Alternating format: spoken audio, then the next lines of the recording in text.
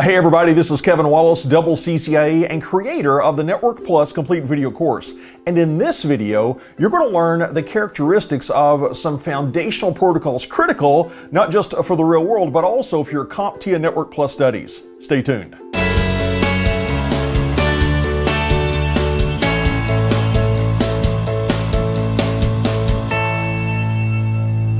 Now that we've talked about a couple of protocol reference models, let's take a look at some specific protocols, popular protocols, that fit into those reference models. Consider the OSI model, the seven layer model, and let's focus in on the network layer and the transport layer. We've got some very popular protocols that live at those layers. Now, if this were the DoD model, remember the network layer would instead be called the internet layer, but the transport layer would still be called the transport layer. But Let's zoom in on the network layer. A couple of the popular protocols we find at the network layer are IP, Internet Protocol, and ICMP, Internet Control Message Protocol. And here's the way I want you to think of IP. Think of IP much ah. like a flatbed truck as a metaphor. This is going to be able to carry upper layer protocols, such as UDP, User Datagram Protocol at layer 4, and TCP, Transmission Control Protocol, also residing at layer 4. IP can encapsulate those protocols and send them across the network. They're going to be sent via IP. And later on in these videos, we're going to get much more in depth into IP. We're going to contrast IP version 4 and IP version 6 and see how IP addressing works. But for now, understand that IP is a layer 3 protocol, and a piece of hardware that lives at layer 3 is a router. A router can make a forwarding decision based on a layer 3 address, like an IP address. Also at layer 3, we've got ICMP, Internet Control Message Protocol. A really common use for ICMP is to do something called a ping. A ping can allow us to determine if our network device has reachability to another network device, maybe on our network or out on the internet somewhere. Consider this basic topology. We've got a PC connected into a switch, and by the way, a basic Ethernet switch is a layer 2 device. It makes forwarding decisions based on physical addressing. Inside of the PC, we have a network interface card, and it's got a physical address called a MAC address. And that router, which is also connecting into the switch, that port on that router, it has a MAC address. And the switch learns which MAC addresses are connected to which ports. And that's how it knows how to forward traffic. And the router down at the bottom, that's a layer 3 device. It can make a forwarding decision based on an IP address as an example. But back to our discussion of ICMP, let's say that the PC is not getting out on the internet. One of the most basic things we do when it comes to troubleshooting is to determine can we get to our next hop router the router that gets me to everybody else on the internet, can I at least reach that router? And we could use a utility built into most operating systems called a ping.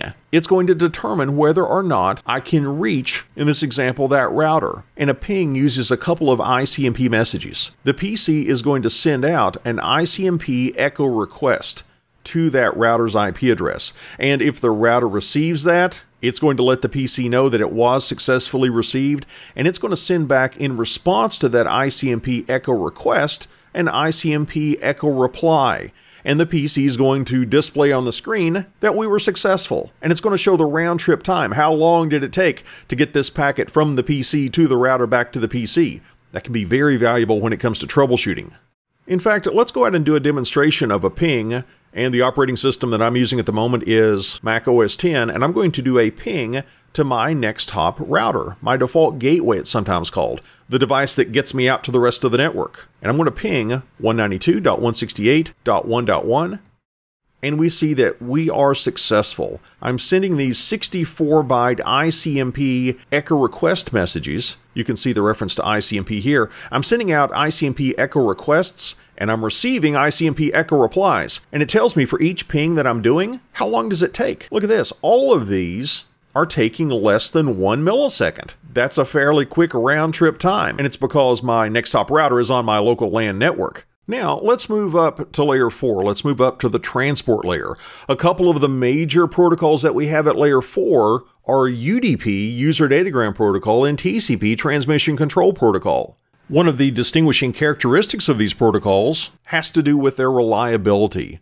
UDP is not considered to be reliable. We send a UDP segment, that's what we call a unit of data at layer 4, it's called a segment. We send a UDP segment, and we hope it gets to its destination, but we have no guarantee that it got to its destination. There's no acknowledgement coming back from the far side. That might not sound good, but actually, there are times when UDP is preferable to TCP. For example, if you have a voice over IP network, Maybe you have a phone similar to the one we see here on screen, and it has an Ethernet connection in the back, and you're able to send your voice conversation over an IP network. Well, your voice is being carried via UDP. Because if we were to use TCP, that would be extra overhead. The header is much larger than the header we find on a UDP segment. And while TCP is reliable, it's called connection oriented because we set up a connection and it can detect if we drop a segment you probably would not want to retransmit a dropped segment in a voice call. It might arrive out of order, it might cause too much delay in your voice conversation.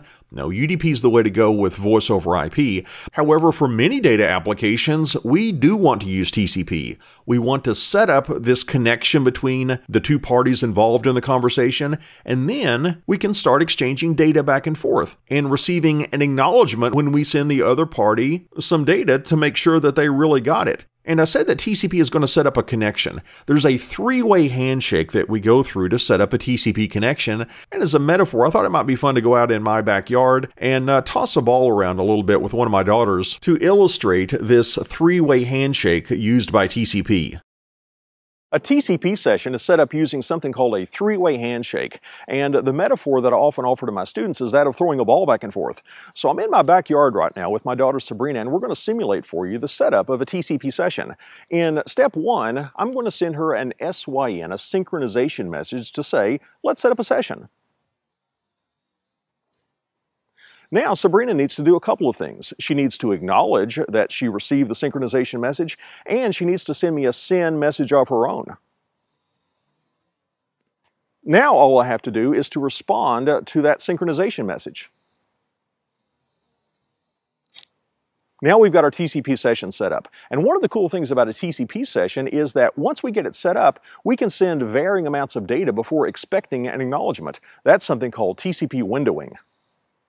When we talk about TCP's sliding window, we're talking about the ability of TCP to vary the amount of data that a sender sends to a receiver before expecting an acknowledgement from that receiver. If we were on a highly reliable network, it would be more efficient to send more data at one time before expecting an acknowledgement. Because think about it, if I'm sending data and then waiting to get an acknowledgement, that's time spent waiting that I could have been sending more data. We know that TCP is reliable, and we love that about TCP, but on a reliable network, it would be more efficient to have a larger window size usually because we'll spend less time waiting. And TCP can try to exponentially grow that window size. As an example, consider this laptop on screen. It wants to send data to the server on screen, and it's going to begin with a window size of 1, one segment. It sends segment number 1 to the server, and the server acknowledges that, and in the acknowledgement, the server is requesting the next segment number. It's going to say, acknowledge two. I'm ready for segment number two, it's saying. But because that was successful, we sent one segment, it was acknowledged, we're going to double that now. We're going to send two segments.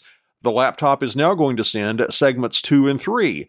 They are received successfully, and the server responds with an acknowledgement saying, Send me segment number four. And yet again, we're going to double the window size. We went from a window size of one up to two. Now we're going to double it again. We're going to have a window size of four. We're going to send segments four, five, six, and seven, after which the server is going to respond with an acknowledgement asking for segment number eight. However, what happens if we do not receive an acknowledgement? In a case like that, the sender realizes that it's sending too aggressively. Maybe a packet was dropped, or maybe we just had to wait too long before we received that acknowledgement.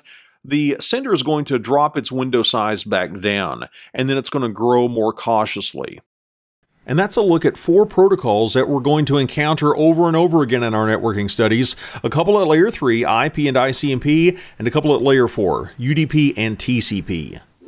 If you want to learn even more technologies found in the CompTIA Network Plus exam, just click the link in the description or on the right side of the screen and I'll send you more training videos. And also, if you don't want to miss any of my YouTube videos, be sure and subscribe. Thanks for watching and I'll see you next time.